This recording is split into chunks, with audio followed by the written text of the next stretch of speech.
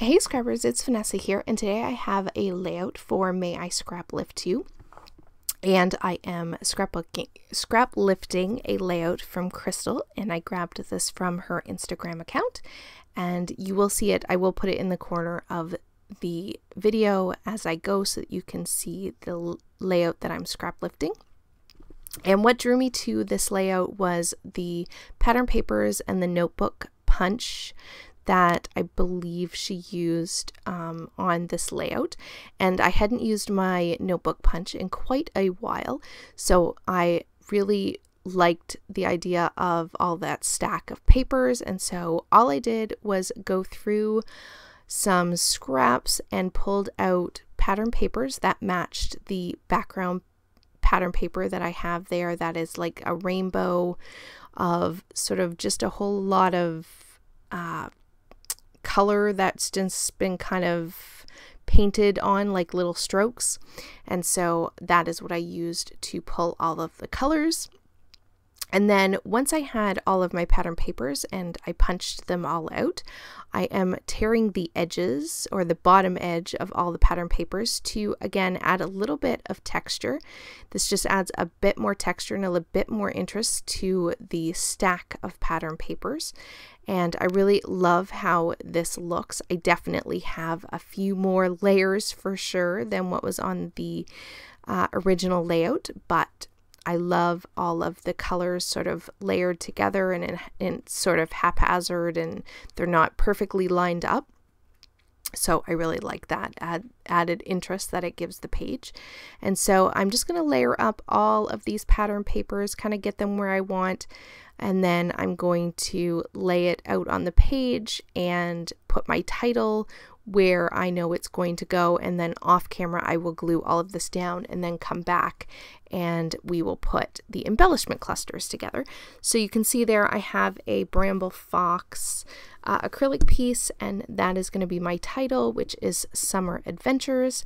And then there you see I have everything glued down and we are going to work on building our clusters. And I'm going to keep just like the sketch with two clusters one at the top left of the photo and then one at the bottom right of the photo. And so I am just using a combination of stickers that I've put on white cardstock and some ephemera pieces that are these florals. I have some fussy cut hearts and then some butterflies and other sort of little insects. Most everything that I'm using came from past uh, Paige Evans collections. I don't know, they might all be from the same one, and I don't know which one it was. Um, but I'm basically just pulling all of those pieces and creating some fun clusters uh, on both sides of my photo. And there's no real rhyme or reason to this. I'm just kind of building out the clusters, making them look nice and full. I definitely have more embellishing on this page probably than Crystal's original layout, but I think overall I kept pretty true to her original uh, layout and I was you could definitely see that it was my inspiration I think once you see the finished product.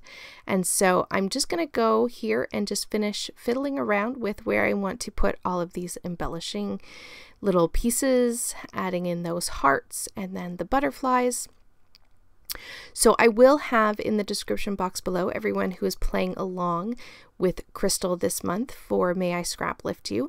And I know some people are playing every day and then others are playing on different days. And then some, like myself, are just kind of playing whenever they can. So I do plan to try and have at least a few layouts up this month to play along. And so you can always check back, make sure you subscribe so that you know when new layouts come up. And yeah, I hope to get to scrap lift a few other uh, scrappers out there. There's tons of inspiration, so it's so fun to see everyone's take on layouts and see how they interpret their vision of that layout. So once I have everything glued down, I am just going to add these enamel dots. And with that, we are going to call this one done. So be sure to come back and see what else I create this month. And with that, guys, I will catch you on the next one. Have a great day, everybody. Bye-bye.